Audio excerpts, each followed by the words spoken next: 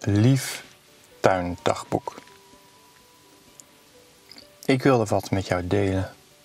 Ik wil eigenlijk een aflevering maken alleen maar over de moestuin. Om te kunnen laten zien hoe ik alle plantjes heb opgekweekt van zaadje tot vrucht. Dat lijkt me nou een leuke aflevering. Maar wordt het dan niet saai? Gaan we het ook nog wel bouwen in deze aflevering? Jazeker. Want wat is een moestuin zonder een echte kas?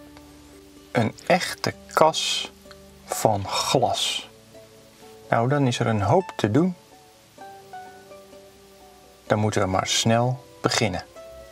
Hup, aan de slag.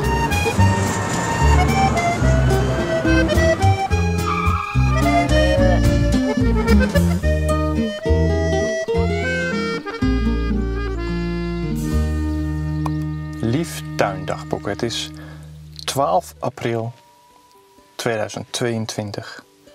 En ik heb zojuist alle zaadjes in kleine potjes gedaan om ze te kunnen laten ontkiemen. Maar er gebeurt helaas nog niet zo heel veel.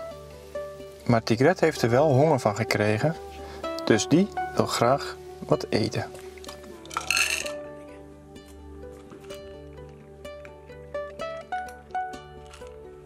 En ik heb ook de pootaardappelen alvast klaargezet, zodat die kunnen gaan ontspruiten. 16 april. Het voorjaar is echt begonnen. En dat kun je echt wel zien in alle mooie bloesem in de bomen.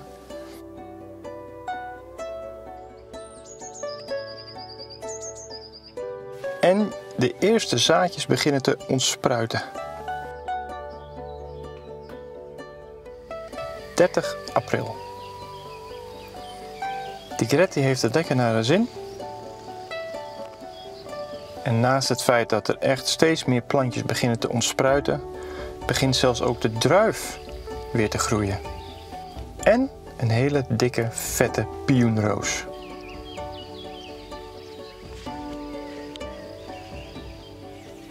...11 mei 2022. Laten we aan de slag gaan met de aardappelen. Nou, uh, welkom bij een nieuwe aflevering van Eigen Huis en Tuin. Ik heb uh, joekels van uh, emmers besteld. Dit zijn er maar twee, ik heb nog veel meer. En ik wilde deze alvast gaan vullen met aarde en aardappelen. Ik wilde gewoon eens gaan experimenteren met het poten van aardappelen. Kijk, en ik heb hier, dat is wel grappig. Ik heb dat ook nooit gedaan. Het is, uh, is mij de eerste keer. Ik heb deze aardappelen heb ik nou, uh, nou ik denk een maand of wat uh, in de vensterbank laten staan. Die zijn helemaal uitgelopen. Het zijn natuurlijk gewoon pootaardappelen. Het zijn geen gewone aardappelen, pootaardappelen. Hier, je? Ik had het nog nooit gezien als stadse jongen. Maar deze die gaan dus de grond in.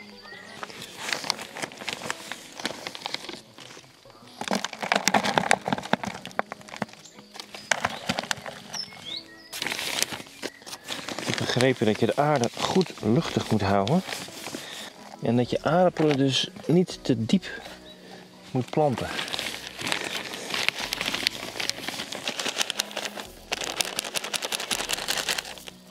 Een nest erin.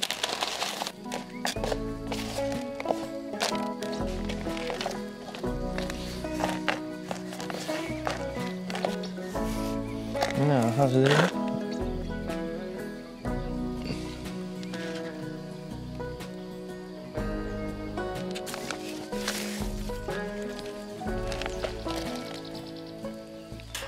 aardappelen zitten erin. En dan zul je misschien zeggen van ja, maar waarom je het eigenlijk in potten? En niet gewoon eh, in de moestuin in de grond.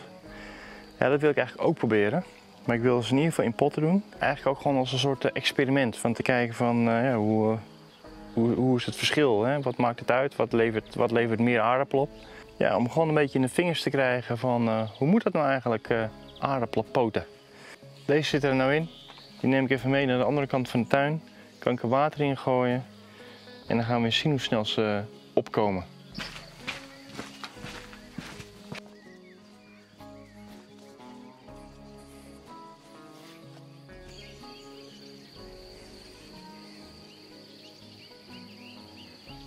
Kijk, zoals je ziet was het niet de echte allereerste keer dat ik aardappel heb gepoot. Want hier heb ik een aardappeltoren staan. Die heb ik vorige week eh, geplant. Maar dit is meer voor de grap. Want deze zagen toevallig staan bij de Lidl in de aanbieding. Ik dacht, nou, misschien wel grappig. Het zijn dezelfde soort aardappelen. Maar ja, als je ziet hoe snel dat, dat gaat. Maar deze heb ik dus niet echt uh, volgens het boekje gedaan. Die heb ik gewoon aardig gepakt, aardappel erin, klaar. Terwijl ik bij deze twee nu een probeer het boekje te volgen. Gewoon om te zien wat het verschil maakt. Ondertussen ook nog even een klein toertje door de rest van de groentetuin, hoe alles erbij hangt. Dit zijn de aardbeien, of nou ja, dit moeten de aardbeien worden. Hier komen de eerste rode besjes er al aan. Ze zijn nog niet rood, maar dat worden ze vanzelf. Kijk, en hier staat een mini kruisbes. En hier staat de nieuwe aanwas al klaar. En hier ook de voorraad met tomaatplanten. Onder andere. 18 mei. De aardappelen zitten in de potten.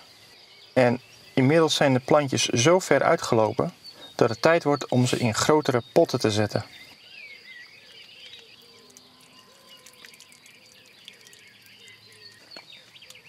Gewoon keurig netjes één plantje per potje.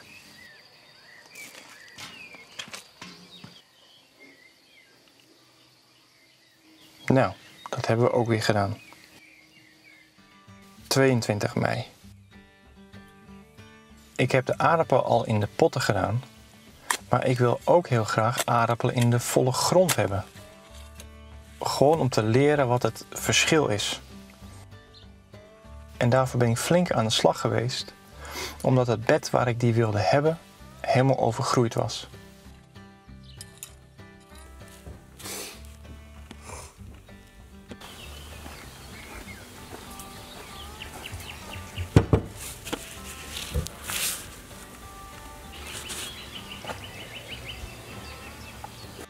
Toen ik ermee bezig was, ontdekte ik de eerste aardbeien. Ja. Ja, en wat moet je dan? Dan ga je die plukken.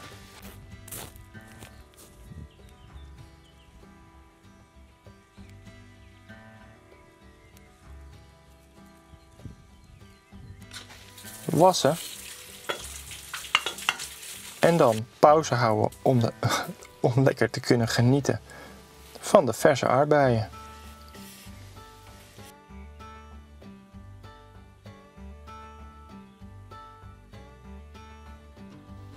...29 mei.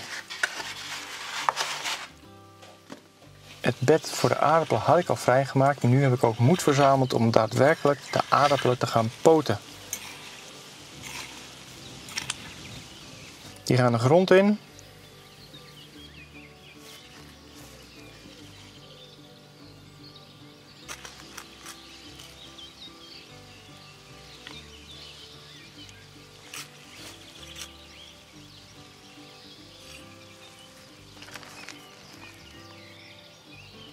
Met een beetje paardenmest en water. Nou ja, dan gaan we het zien wat er gaat gebeuren.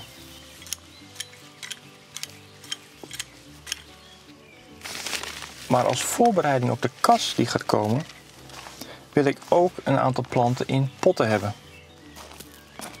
Want die grote potten, die zet ik dan in de kas. En wat gaat er in die potten? Nou ja, Ten eerste natuurlijk aarde. Maar verder cherry tomaatjes, tomaten, courgettes en paprika's.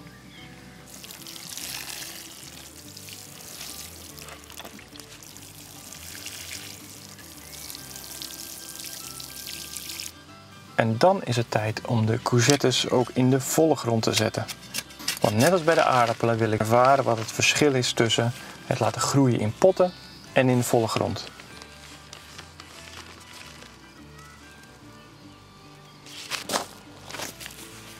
Dus hier gaan de courgettes in de grond.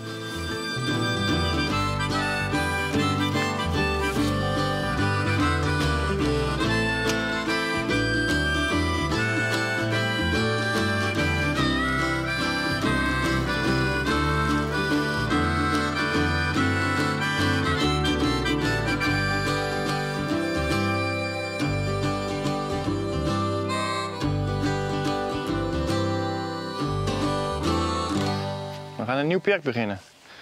Alsof we niet al genoeg projecten hebben. Maar eh, wat je hier ziet, dat is dus eh, de moestuin. Hier vooraan een hele trits aan eh courgetteplanten. Waarvan de eerste zo ongeveer hun oogst beginnen te geven nu. Hier aan de linkerkant hadden we een hele voorraad met rode besjes.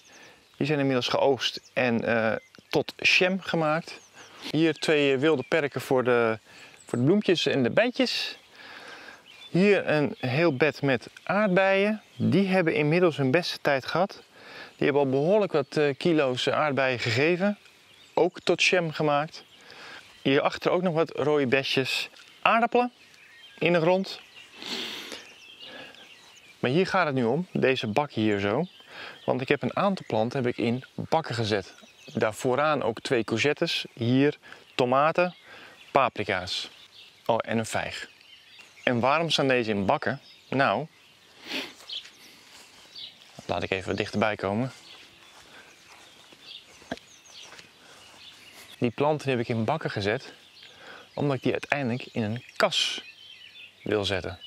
Maar ja, nu hebben we geen kas. Maar aan het einde van dit project hebben we wel een kas. Want waar gaat dit project over? Drie keer raaien. Een kas. We gaan een kas bouwen. De kas zelf is gewoon een bouwpakket, aluminium profielen, veel glas. Niet een al te grote kas, 5 vierkante meter, net genoeg dat je erin kan bewegen en dat je er behoorlijk van dat soort potten in kwijt kunt. Waar komt hij te staan? Nou, daar komt hij te staan. Hier, in deze hoek. Hier moet hij komen te staan. Hier vooraan, dit grind, zijn de filterunits van onze septic tank. Als je daar meer van wil weten, zet ik hierboven even een linkje of hieronder in de beschrijving waar je kunt zien hoe we dit geheel hebben geïnstalleerd. Want mocht je het niet weten, hier onder de grond heb ik dus een volledige, ja, noem het een waterzuiveringsfabriek. Niet te geloven wat hier onder de grond zit. Indrukwekkend, al zeg ik het zelf. Maar ik ben blij dat het klaar is. Het werkt allemaal naar behoren.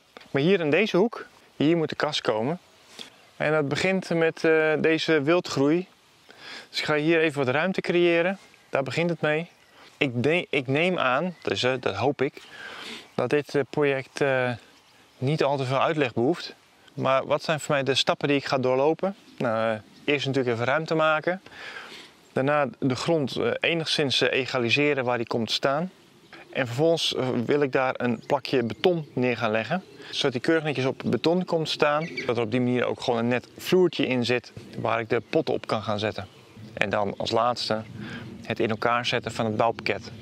Dus ja, dat doen we gewoon even tussendoor. Maar de tijd begint ook wel een beetje te dringen. In die zin.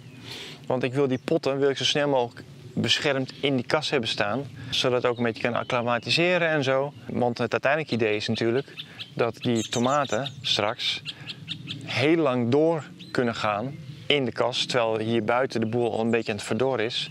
Dat hopelijk in die kas dat we nog wat langer tomaten kunnen krijgen. Dat is in ieder geval het idee. Met andere woorden, laten we aan de slag gaan.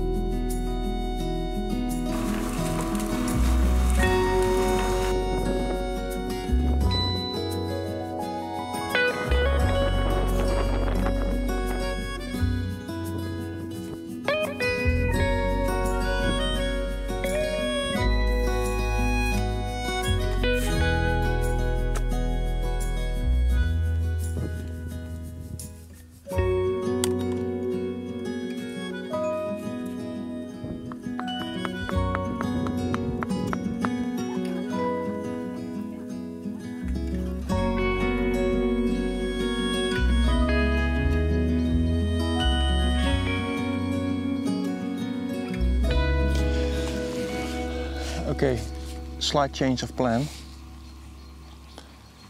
Het idee was om alleen maar een muurtje neer te zetten van keien. En uiteindelijk een betonnen laag eroverheen te zetten die ik kon afstrijken met de planken. En in het midden het afvoerputje. Dat ik gewoon lineaal in het midden en dan zo ronde maken. Heb ik een mooie afloop naar het putje toe. Mooi strak. Fantastisch. Maar we hadden hier uh, mensen op bezoek in het tiny house. Uh, en die vroeg, wat ben je hier aan het maken? Dus ik zei, ik ben hier een basis aan het maken voor onze kas. Een greenhouse. Het waren Amerikanen. En uh, die zei, ah, dan ga je een basis maken van keien helemaal. Wat leuk. Ik zei, nee, daar komt gewoon een laag uh, beton overheen. met een putje. Fantastisch. Toen ging het gesprek verder, liet nog wat foto's zien van hun tuin in Amerika. En oké. En toen begon ik na te denken, s'avonds, zo van... Ja, eigenlijk ziet het ook wel best wel gaaf uit... als hier gewoon keien liggen in plaats van een uh, industriële, strakke betonvloer. Het is wel heel praktisch een betonvloer, bijvoorbeeld met zo'n putje. Het is wel heel strak. Dat is dan weer het nadeel. Elk voordeel heeft zijn nadeel, zullen we maar zeggen. Dus nadat ik hier met deze kant was begonnen, heb ik besloten om het geheel uit keien te maken. En uiteindelijk de vloer een beetje strak te trekken met uh, kalk. Deze rand hier is compleet en die heb ik dus ook op hoogte gebracht tot, tot aan het hout. En ik zat er een centimeter of 4, 5 onder, uh, zodat het beton eroverheen kon. Ik heb dat dus uh, moeten opvullen met hele dunne steentjes, zodat dit redelijk op hoogte is van de plank. onder deze rand daar ligt dus nog een, uh, een flinke laag uh, stabilisé-grind, uh, wat ook onder het beton in de schuur ligt. Dat was nog over. Dus het idee is dat de rand ligt stabiel, zal hopelijk niet zo snel verzakken. Want daar staat dan de kas op, daar steunt hij op af. En de vloer in het midden, daar heb ik fris ja, ik heb er wat concassé overheen gegooid en ook nog wat datzelfde grind nog van eh, onder het beton. Maar ik heb niet de illusie dat ik hier nou speciale maatregelen heb getroffen. Als het vloertje in de kas een beetje inzakt, is niet erg. Als de rand maar stabiel blijft. Ja, en het putje, de afvoer, die laat ik gewoon zitten. Die heb ik nou voorbereid. Ehm, ik heb niet de illusie dat dat echt heel handig gaat zijn of uh, dat het water daadwerkelijk daar naartoe gaat stromen als de vloer van kei is. Baar het niet en schaadt het niet. Dus die laat ik gewoon zitten. Ik maak even de rand helemaal compleet. En dan wil ik eigenlijk hier de, de middenbak gaan vullen. Met grote keien. Opvullen met eh, fijn eh, concassé grind, zodat het stabiliseert. Even een paar dagen laten liggen. En dan alle voegen vul ik dan af met kalk. Om de planten, onkruid, ongedierte beneden te houden. En op die manier heb ik dan toch een afgesloten vloer. Niet zo vlak, maar ik denk wel dat het er een stuk leuker uitziet. Nou, de, de vloer is uh, zo goed als compleet. De grote keien in ieder geval, daar ben ik allemaal mee klaar. Het is nu nog vooral uh, de gaten vullen met kleinere keien. En rondom waar ik de, de rand heb gemaakt, daar heb ik nog wat werk te doen met, met platten. Zodat ik een mooie overgang krijg van de rand naar het, het middenstuk.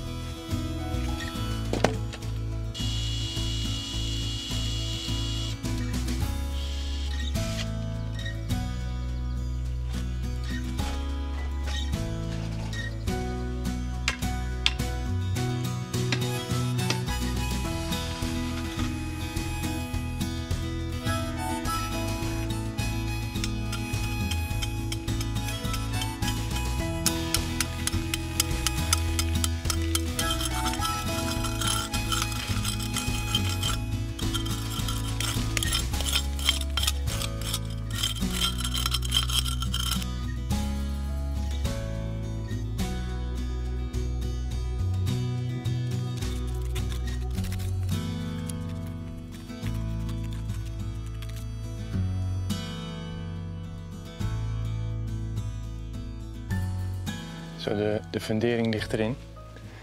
Is natuurlijk weer wat meer werk dan gedacht. Nou wist ik natuurlijk wel dat het meer werk zou zijn vergeleken met een uh, betonnen vloertje. Want die stort je erin, die trek je strak en dan is het klaar. Maar goed, ik vind het eindresultaat, ik vind het toch een stuk leuker eruit zien dan gewoon een betonplak. Dus ik ben er blij mee dat ik het op deze manier gedaan heb. Ik heb de voegen tussen de stenen gewoon lekker opgevuld met uh, kalkcement. Ik, had natuurlijk met kalkcement ook gelijk weer de boel weer op niveau kunnen trekken. En uh, de ergste kuilen er weer uit kunnen halen. Maar ja, dat is dan wel weer, eh, hoe zeg je dat, het karakteristieke element van een stenen vloertje. Dat het dus ook een beetje hobbelt en bobbelt. Dus ik heb dat, dat heb ik gewoon zo gelaten. Maar gewoon dat het lekker dicht is en dat je niet met je tenen er zo echt tussen kunt blijven haken. Dus het vloertje is dicht. De afvoer zit er nog steeds in. Al ben ik me daar echt wel van bewust dat het afvoertje niet heel veel meer doet. In de zin van, ik heb mooie afwatering en het stroomt naartoe. Maar ik heb hem toch gewoon laten zitten. Die eh, zwarte rand van de kas, die uh, fundering, uh, die heb ik op de hoekpunten vastgezet. Met uh, flinke keilbouten. Extra lange, want ik wilde niet de kas alleen maar in de bovenste laag van de steen vastzetten. Dus ik ben met een lange boor door de bovenste laag stenen heen gegaan om in de onderste dikke keien uit te komen. En daar zit die keilbout dus in vast. In ieder geval op de hoekpunten. En in het midden van de zijde heb ik nog een extra schroef erin gezet. Die is niet zo, eh, gewoon niet zo lang, gewoon in de bovenste laag met een plug. Voor het idee tegen het zwabberen of wat dan ook. Hij zit nou op acht punten, dus verankerd in de stenen vloer. Dus die waait echt niet weg. In ieder geval niet de onderste zwarte rand.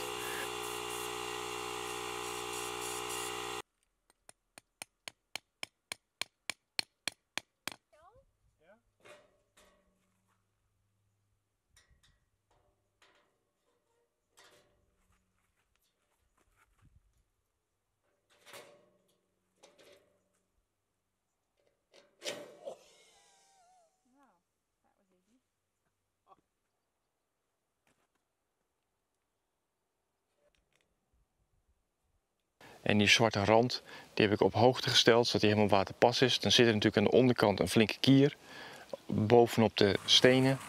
En die flinke kier heb ik dan weer opgevuld met kalkcement. Gewoon even een dijkje gemaakt waar die op komt te staan.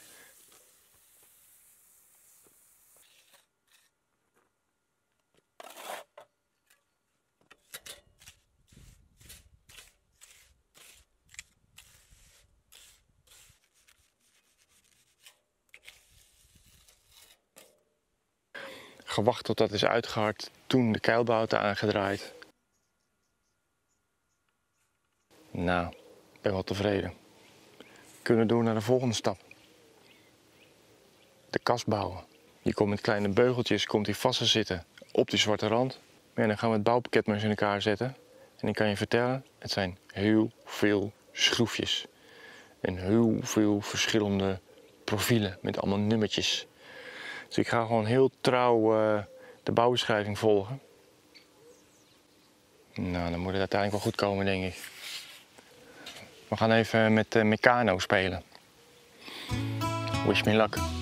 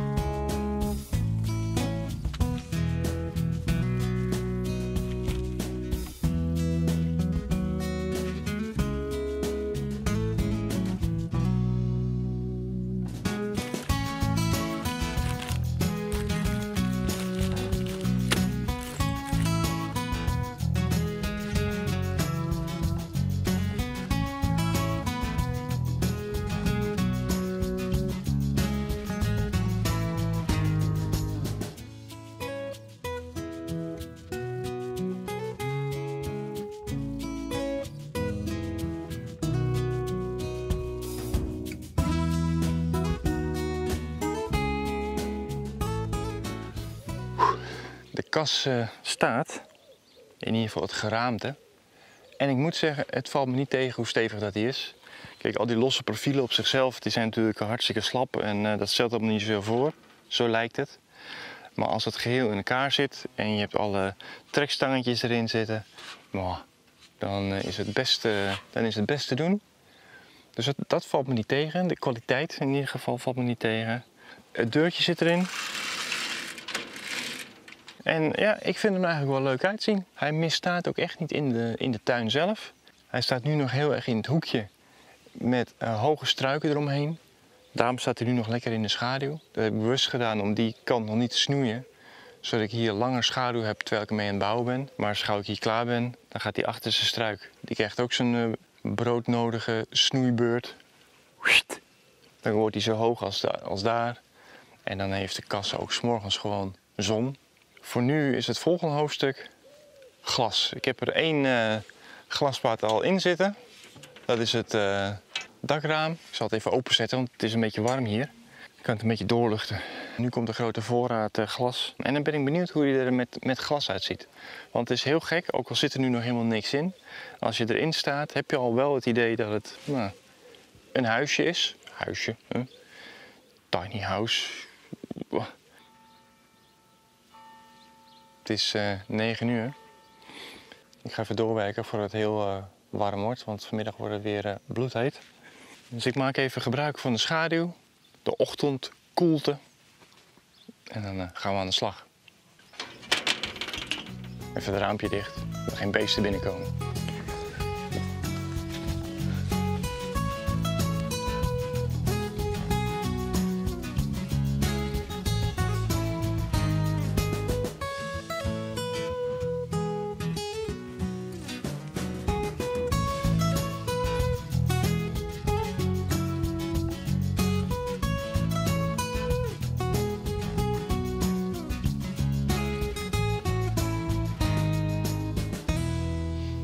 Inmiddels zijn we een paar dagen verder en is de kas uh, afverklaard. Ik moet zeggen dat de laatste loodjes van het in elkaar zetten, ja, die had ik makkelijker verwacht eerlijk gezegd. Of nou ja, niet dat het heel moeilijk was, maar kijk, deze klemmetjes, die gebruik je om uh, de, glasplaten vast te zetten. Glasplaten van uh, 3 mm dik, ongeveer 60 bij 60. En hiermee klem je dan die platen rondom vast in het frame. Maar er zitten allemaal van die kleine haakjes aan het einde, van die scherpe puntjes. En dat zijn precies de puntjes waarmee je zo met je duim dat uh, erin gaat uh, duwen en onder spanning zet. Dus volgens mij zijn mijn duimen inmiddels behoorlijk lek van het vastklemmen van de glasplaten. Maar ja, als we daarover gaan zeuren, hè, we hebben nog een hele verbouwing voor de boeg. Dus, gedaan. Ja, om het nou een hele grote onthulling te gaan noemen. Maar het is het wel. Dus hierbij de onthulling van onze kas.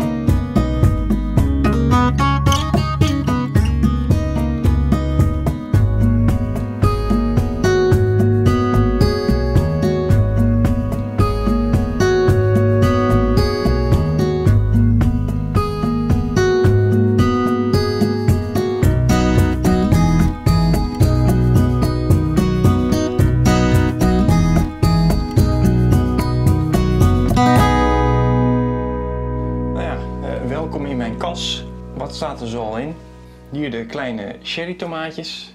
Die heb ik dus vanaf het begin uh, opgekweekt. Zijn inmiddels uh, redelijke planten geworden.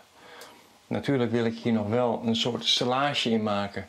Dat de planten via een touwtje naar boven kunnen groeien, dat ik ze kan geleiden.